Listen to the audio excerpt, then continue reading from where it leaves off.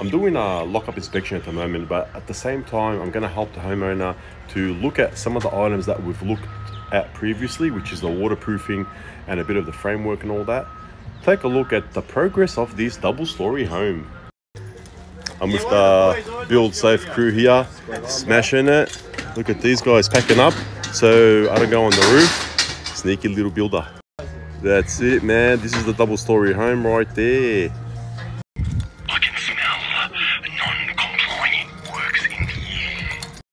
Beautiful, beautiful tape job. Look at this. So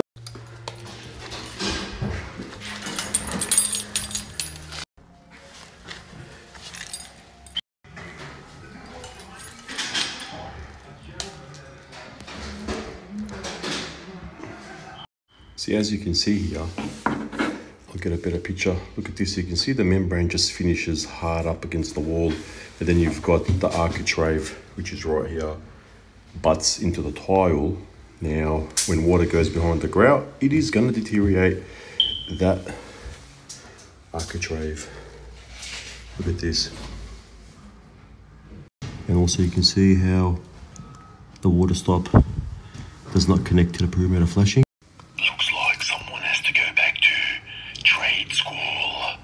Also take a look at this water stop around the bathtub area here.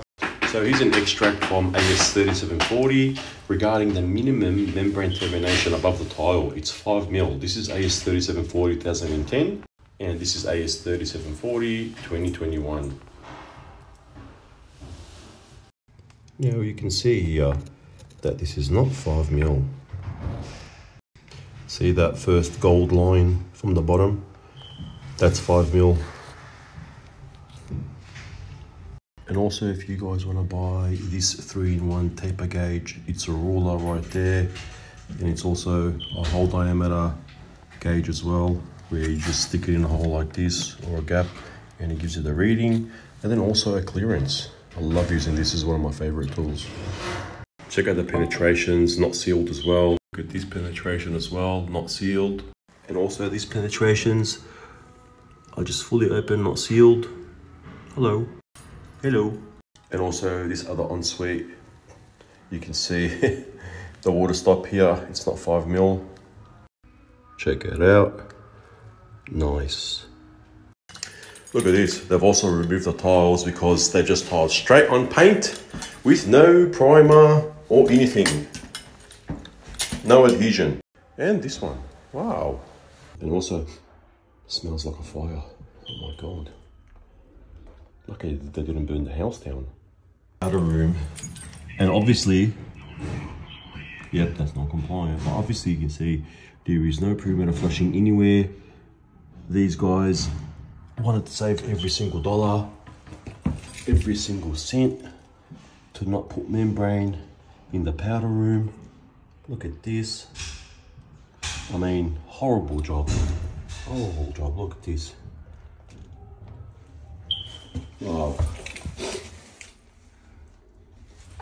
the plaster job. Mm, smells like a barbecue here. See this piece of flashing right here? Let's see why it's been cut like this. You can see here, look at this. They've joined this flashing, inadequate way to join by the way, another flashing. Look look at this.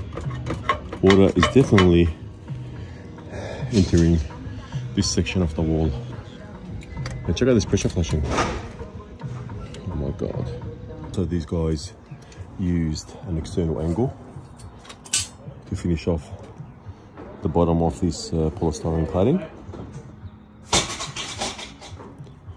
Look at the way they finished it. This is common throughout the whole section.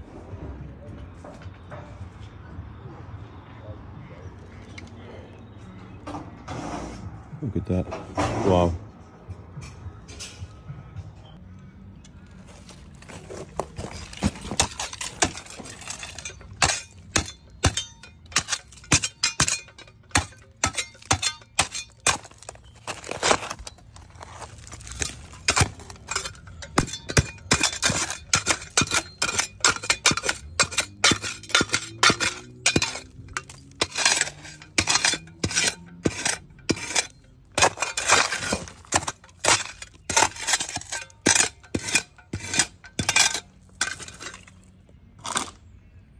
Oh, g'day Sam, it's uh, Ed from Site Inspections. How are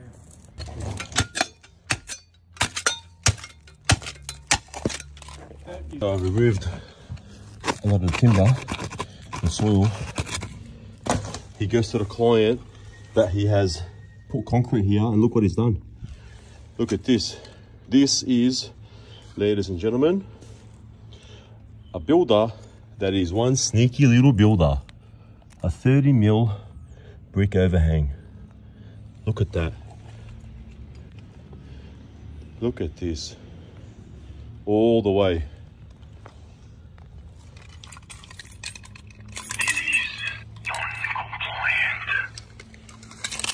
So the supervisor for this project has told the client that uh, they've put concrete underneath all this brick wall right there.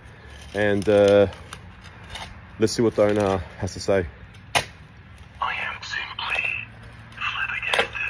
So uh, do you want to confirm what they actually told you about the, last the concrete time there? they they said because of the it, it look uh, nice the, and we finished the the tile uh, like uh, This whole wall. mil, uh, shorter and then I said if it's not a big issue if your concrete is because of some reason because of your mistake you do Yep. that so I'm not happy with that Yep. and then said no just it looked nice so then I said it's okay and then the next time when they change the brake they, Yep. they, they change the brake and said for the next time and we followed the plan and we put extra concrete So that's what the supervisor said. He goes, we've put extra concrete, don't stress out. Yeah. And I was about to leave the job right now. And this is, we have to dig. You see, you see how much we've dug here.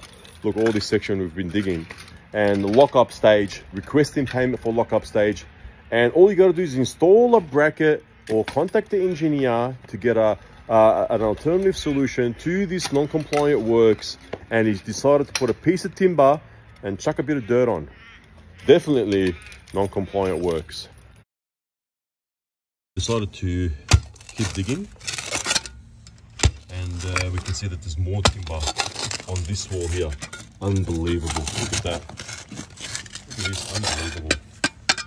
So look at this. They've got another brick here underneath the dirt to support this piece of timber Trying to take it out it's hard there we go look at this actually what is it it's just freaking dirt unbelievable so look there we go Nice block with a screw. So there's more timber. Look at this. Oh my god, it's actually floating. This this look at this. I shouldn't laugh, but this is amazing. This is just amazing. Oh my god. Look at this. Look. The brick is floating. Oh, there's another piece of timber. What the hell is wrong with these people? This is this is what it's supporting, guys. Look. Look at this. This wall. Look, look, look at that floating. The supervisor for this project may need to go and uh, work at a kebab shop, I reckon.